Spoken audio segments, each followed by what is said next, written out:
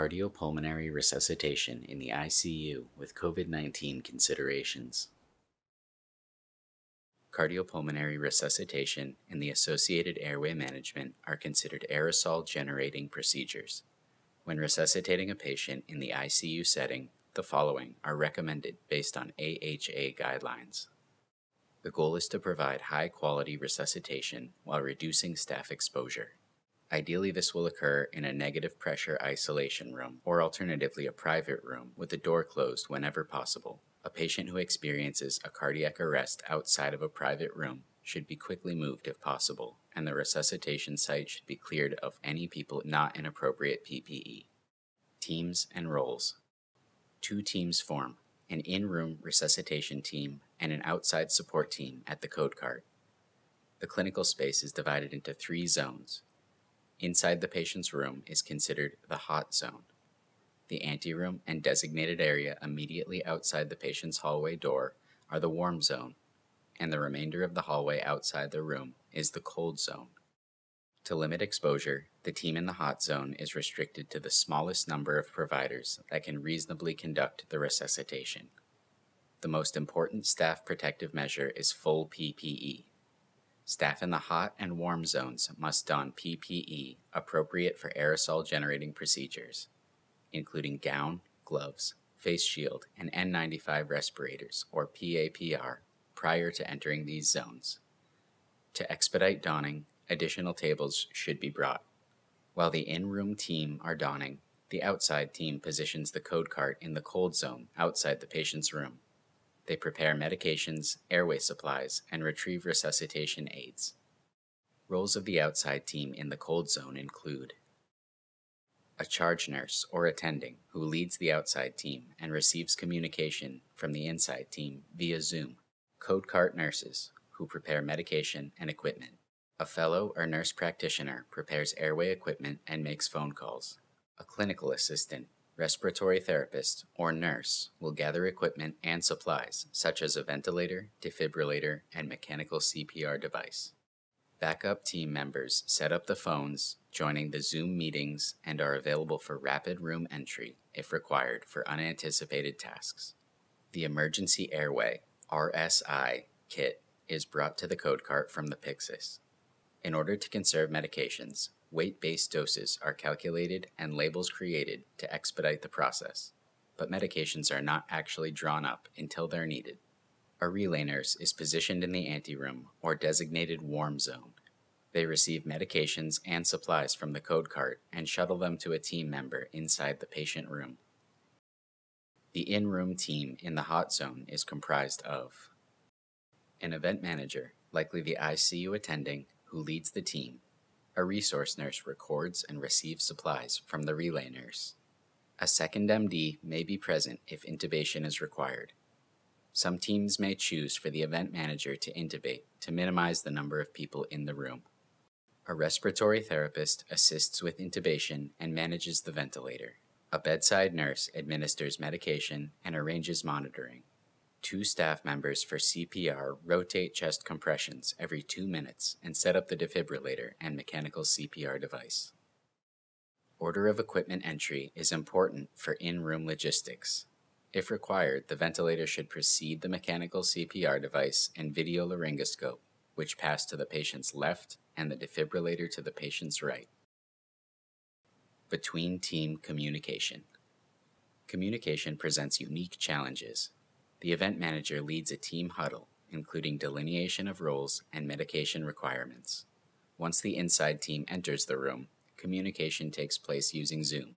The team outside initiates Zoom connections on SpectraLink phones as the in room team are donning. Headsets may be used by the in room event manager and resource nurse, as well as the outside event manager.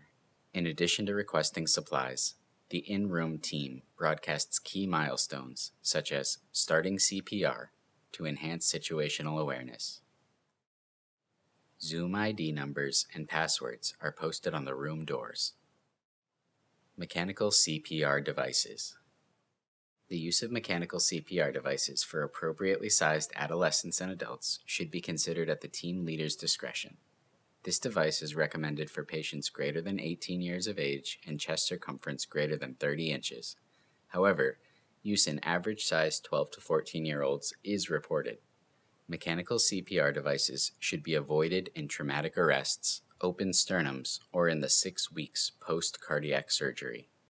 To rapidly deploy this mechanical CPR device, when lifting off the stand, turn on the device by pressing the on-off button at the head end of the platform. The compression band is opened by separating the Velcro sides. Either the mechanical CPR device or a backboard is placed by log rolling the patient and sliding the board under. While the back is exposed, the posterior defibrillation pad is placed. Manual compressions are then resumed. The anterior defibrillation pads are then placed. To align the patient on the mechanical CPR platform, they may need to be moved. Match their armpits level with the yellow guideline on the device. Next, wrap the compression band around the patient. Place side 1 on the chest first. Then close the band by bringing over side 2, guiding the yellow tab on side 1 through the slot on side 2, securing it with a Velcro on each side. Pull the life band up to its fullest extension to set the internal motor to its starting position and ensure that the bands are untwisted. Place the band back down onto the patient's chest so the yellow tab sits on the sternum, directly over where manual chest compressions would be performed. Initiate the mechanical CPR device by pressing the green Continue button. The device measures chest dimensions and resistance to calculate force of compressions. Be careful not to touch the device while analyzing. After sizing, note that there is a brief pause before compressions start. Compressions will commence in a ratio of 30 to 2. To transition to continuous mode when an advanced airway is in place, press the gray menu button twice. If compressions need to be paused at any time, press the orange stop button and repress the green continue button to restart. Cardiopulmonary resuscitation process. Resuscitation algorithms for pediatric cardiac arrest involve standard medications and rhythm interventions per AHA guidelines, with modifications recommended to minimize staff exposure. As the resuscitation team complete donning and enter the room, the airway MD and RT head to the patient's airway and position the ventilator. The two person CPR team will take the defibrillator to the patient's right and backboard or mechanical CPR device, if available, to the left of the bedside to remove patient clothing from the upper torso. One will begin manual chest compressions while the other sets up the mechanical CPR device. The bedside nurse will confirm working IV access and then assist the CPR team. A resource nurse will start documenting. If not directly involved in patient resuscitation, maintain a distance of 6 feet from the airway whenever possible to reduce exposure. Cardiopulmonary resuscitation without an advanced airway in place. When performing cardiopulmonary resuscitation without an advanced airway in situ, intubation is prioritized and attempted by the most experienced laryngoscopist to optimize first pass success. Use an anesthetic bag circuit with a HEPA approved filter to apply a mask seal tightly to the patient's face, ideally using a two hand technique. Passive ventilation will occur with chest compressions, and if manual ventilation is performed, then mask seal should be prioritized. The mechanical CPR device can be placed and used as the backboard, however, manual compressions are employed until the airway is secured. As soon as the airway equipment is made available, plan to intubate. For the entire process of intubation, chest compressions should be paused. The endotracheal tube is placed using indirect viewing with the video laryngoscope. Cuff is inflated, stylet removed, and connection to the ventilator tubing. Importantly, positive pressure ventilation is only initiated after endotracheal intubation and cuff inflation. Compressions are resumed with a cuffed endotracheal tube and closed circuit connection with the ventilator. Capnography is preferred over auscultation for confirmation of tracheal tube position and will hopefully be present with high quality CPR. Cardiopulmonary resuscitation with an advanced airway in place. If cardiac arrest occurs while a patient has a secure airway, compressions are performed while continuing ventilation. Confirm endotracheal intubation, for example, by capnography. The respiratory therapist will set the ventilator as well as enunciate and monitor end tidal CO2 and tidal volumes. The following ventilator settings are suggested to allow for asynchronous ventilation. Increase the FiO2 to 1.0.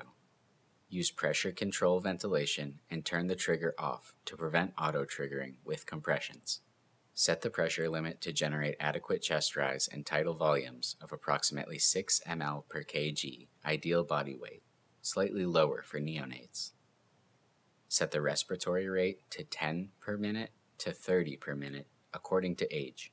Adjust PEEP, balancing lung volumes and venous return. And adjust alarms to prevent alarm fatigue.